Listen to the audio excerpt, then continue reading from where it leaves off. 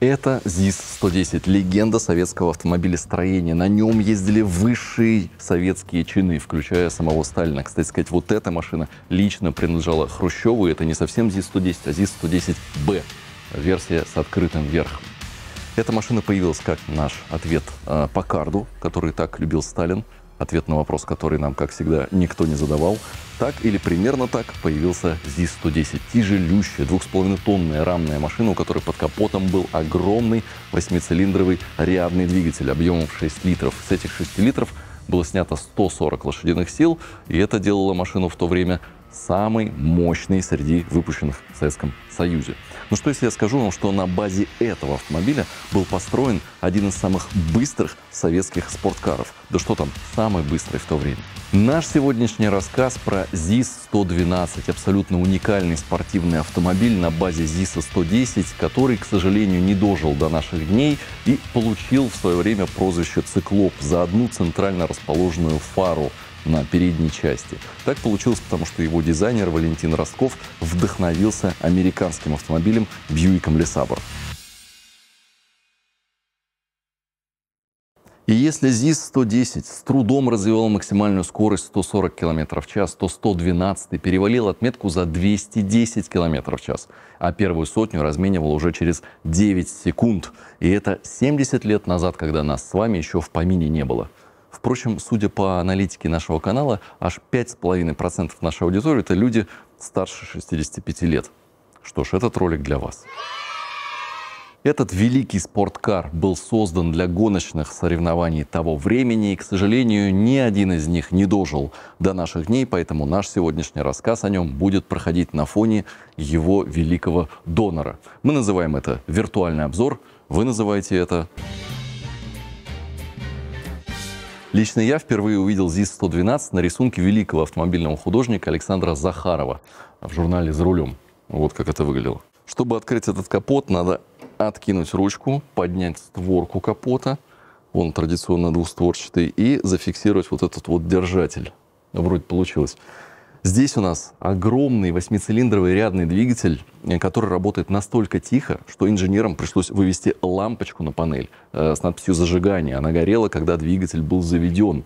Это двигатель нижневальный, и такой же двигатель поначалу устанавливался на ЗИС-112, но со временем он модернизировался и видоизменялся. Ну, например, там появилось сначала два, а потом аж четыре карбюратора. Эм, потом механизм газораспределения стал комбинированным. За впускные клапаны начал отвечать верхний вал, за выпускные нижний вал. Такая вот уникальная конструкция. Потом увеличилась степень сжатия, изменился выхлоп, хотел сказать, э, программа управления в блоке управления двигателем. Но нет, этого не было. Я тут сейчас менял э, крышку трамблера, ты, на своем зикре не менял крышку трамблера никогда? Я на москвиче менял крышку трамблера, и там у меня как водится, 4 цилиндра, и довольно понятно, какой, значит, провод куда идет. То, что идет, я запомнил, 1342. Первый цилиндр, третий, там, четвертый, второй. Я сейчас смотрю на крышку трамблера восьмицилиндрового рядника и понимаю, что здесь все не так просто. И это только трамблер. А здесь, в общем, навернуто такого инновационного оборудования на тот момент. Например, здесь гидравлический привод педали тормоза, что в то время было, в общем-то, некоторым, некоторой новизной. Смотрите, спереди у нас огромный радиатор э, системы охлаждения. Так вот, на 112-м ЗИСе их было два. Второй был для масляного, э, для масла. Соответственно, они находились один над другим и располагались за как раз вот этой вот центральной фарой. Обдув там был, конечно, так себе, потому что прорезь под этой фарой была очень-очень небольшой.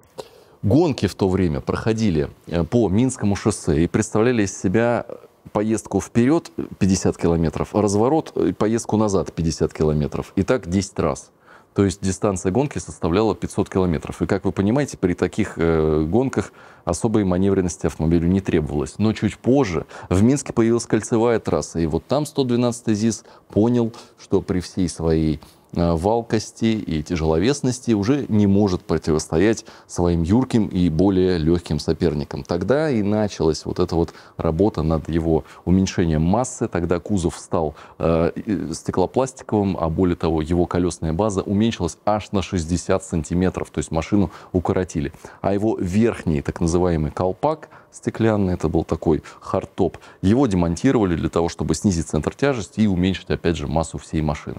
Вот тогда машина научилась ехать больше 220 км в час, а до этого у нее максималка составляла 204 км в час. Такой вот зафиксированный рекорд скорости. Кстати, посмотрите, какая работа над деталями тщательная. Для того, чтобы здесь металл, а металл не бился, у нас здесь имеется вот такой вот веревочный уплотнитель. Колеса на 112 были такие же, как на 110. Это огромные диагональные колеса диаметром 16 дюймов, хотя так и не скажешь, больно уж они большие. И я, честно говоря, не представляю, как гонщики ездили на огромных скоростях на таких колесах, потому что когда я на 21-й Волге попал в дождь, в принципе, она перестала управляться хоть как-то. Это было очень страшно. И если ты едешь действительно быстро на таких колесах, а других шинных технологий в то время особо не было, то тут проявлялось все твое мастерство, а главное мужество. Кстати, э, как и у 112-го ЗИСа, у 110-го тоже могла быть фара по центру. Правда, у нее были еще основные фары, но сейчас не об этом. Вот центральная фара – это была одна из тех отличительных особенностей именно машины, причастной к гаражу особого назначения. На бронированной машине и на машине сопровождения 110 ставились центральные фары. По ней вы могли понять, что перед вами не просто 110 -й. Еще одна фишка, которой лишился 112-й спорткар, это система автоматического закрывания и открывания жалюзи, которые закрывались, когда э, двигатель был холодный, и когда датчик температуры показывал, что мотор прогрелся, они открывались и улучшали обдув радиатора. Естественно, при такой компоновке, как у 112-го, такой системы быть просто не могло. Еще один камень в огород, собственно, их э, система забора воздуха. Каждый раз, когда я попадаю за руль подобного автомобиля, я думаю, как они на этом ездили? Ведь здесь, в общем-то, нормально ехать вальяжно и медленно. Но если ты из этого построил спорткар, и тебе надо нестись 200 км в час, это уже совсем другая история. Смотрите, у нас тут огромный тоненький руль, которым приходилось подруливать даже на прямой. Э, большая такая кочерга э, коробки передач. Э, трехступенчатая механика расположена здесь у нас на рулевой колонке. Диван трехместный, который, в общем-то, делал 112 ЗИС трехместным автомобилем. А, хотя ездили гонщики вдвоем. А, за рулем пилот, справа механик. Ну, техничек тогда не было, э, пидстопов тоже, поэтому намного проще было взять с собой механика. Подвеска у 112 ЗИСа была усилена, э, тормоза доработаны, и для улучшения аэродинамики сверху был, э, как и у этой машины, открывающийся верх, только хардтоп. Здесь это складывающийся такой вот очень интересный механизм с вот таким вот расстоянием в палец в сложенном виде. Видите, тут особо никто как не заморачивался над этим. А там э, все-таки снимался жесткий верх, и машина становилась кабриолетом. То есть еще и жесткость кузова сильно от этого страдала. Так что у этого ЗИС-110 э, и у 112 общего не только э, особенности конструкции, но и то, что они оба кабриолеты. Я недавно ездил на одной китайской машине, и у них был прозрачный зеленого цвета солнцезащитный козырек. Я подумал, господи, это же гениально, почему никто не додумался до прозрачных козырьков? Ребята, 50-е годы, прозрачный солнцезащитный козырек. Вы только посмотрите гениально, просто, изящно, великолепно. И такие решения здесь на самом деле на каждом шагу. Э, закрывающиеся жалюзи, когда мотор э, холодный, и открываются автоматически, когда нагрелся. Лампочка зажигания, которая показывает вам о том, что мотор заведен, чтобы вы второй раз его не начали заводить, не, не испортили стартер. Такое часто было среди водителей. А как вам надпись «Закур»?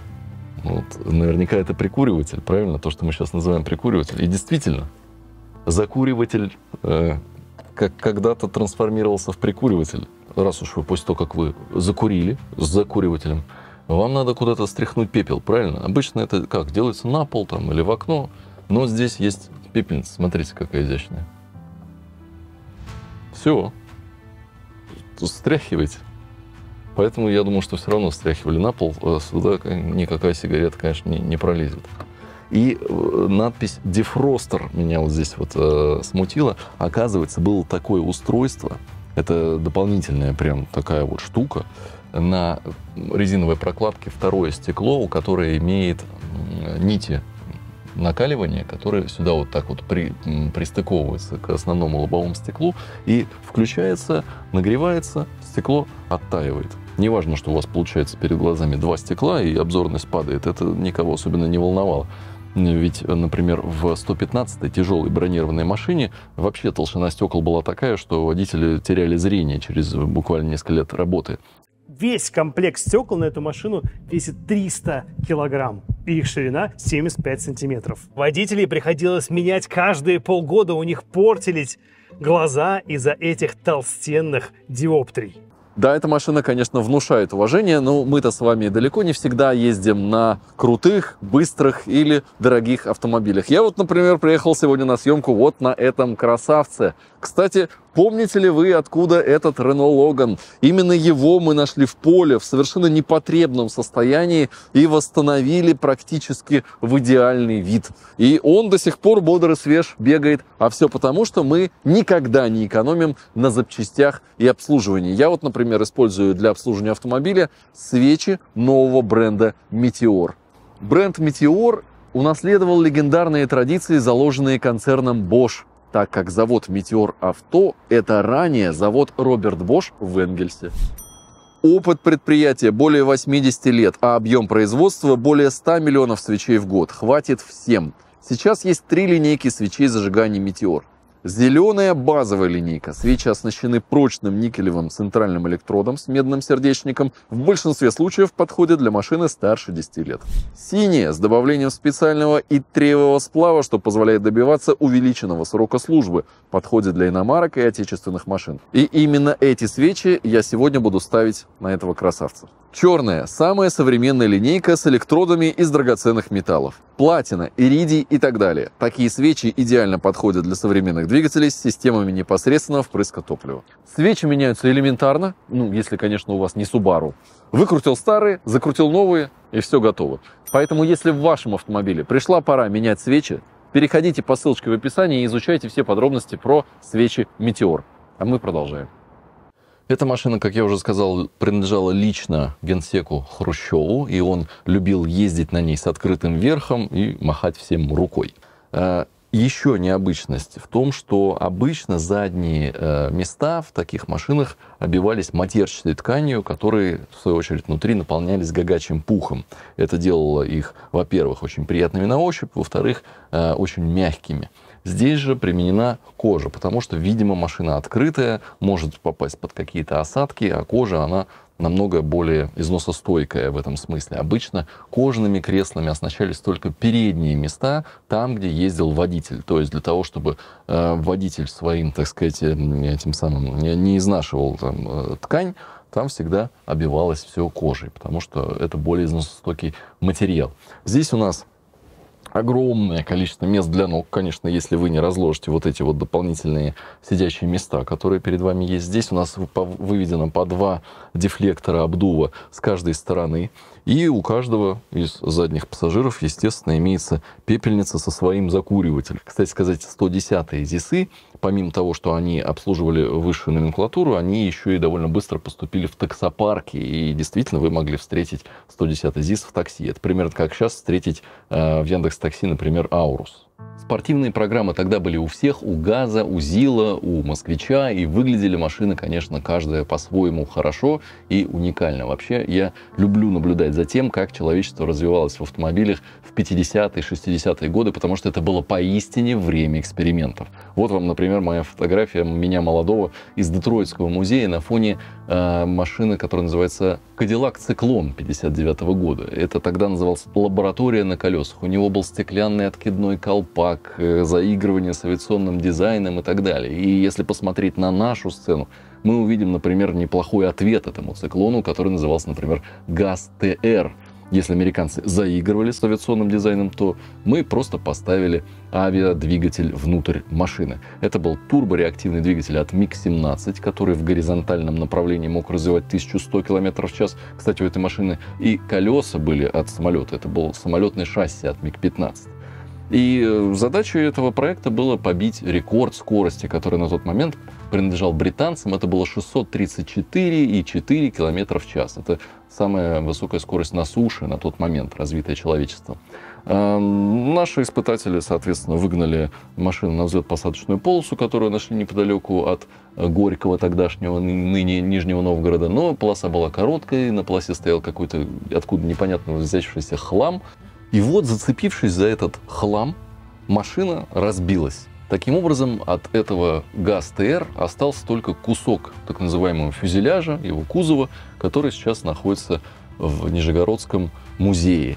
И так во всем огромное количество наших невероятных проектов было попросту утрачено. Ну, взять, например, ЗИЛ-167, который мы снимали специально для вас, это на самом деле уникальный случай, когда целая коллекция машин была спасена э, от того, чтобы исчезнуть в недрах завода. Так произошло и с ЗИСом 112. До наших дней не дожила ни одна из его модификаций. А вот ЗИЛ-112 – это то, во что он в итоге модернизировался. Машина, которая довольно сильно от него внешне, по крайней мере, отличалась, уцелела. Она осталась в Рижском музее. А вторая машина, потому что ЗИЛ-112 оставалось всего два, э, вторая машина была разбита и выкуплена нашим знакомым коллекционером. Недавно он нам ее показал. Он подвел нас к такой горе непонятных деталей, по которым даже ничего не скажешь, что это машина. И сказал, вот за это я отдал и назвал такую сумму, что просто в голове не укладывается. Это десятки миллионов. И мы не сразу поняли, собственно, что это такое и почему это столько стоит. А оказывается, это ЗИЛ-112, из которого он будет по крупицам собирать и восстанавливать оригинальную машину. Таким образом, у меня всегда возникал вопрос, почему такие важные для, для автомобильной истории машины никто не бережет и утрачивает. Слава богу, что есть место, где они сохраняются буквально в первозданном виде. Кстати, мы находимся в музее гаража особого назначения. Это абсолютно уникальное место, второго такого нет. Обязательно приходите сюда для того, чтобы увидеть всю историю гаража особого назначения от Николая II и его автомобилей до Путина. Здесь есть э, броневик Сталина, машина Ленина, Николая II, Ельцина, машины, на которых они любили выехать по собственным каким-то личным делам. В описании мы поставим ссылочку на этот музей. Обязательно приходите, это место стоит увидеть.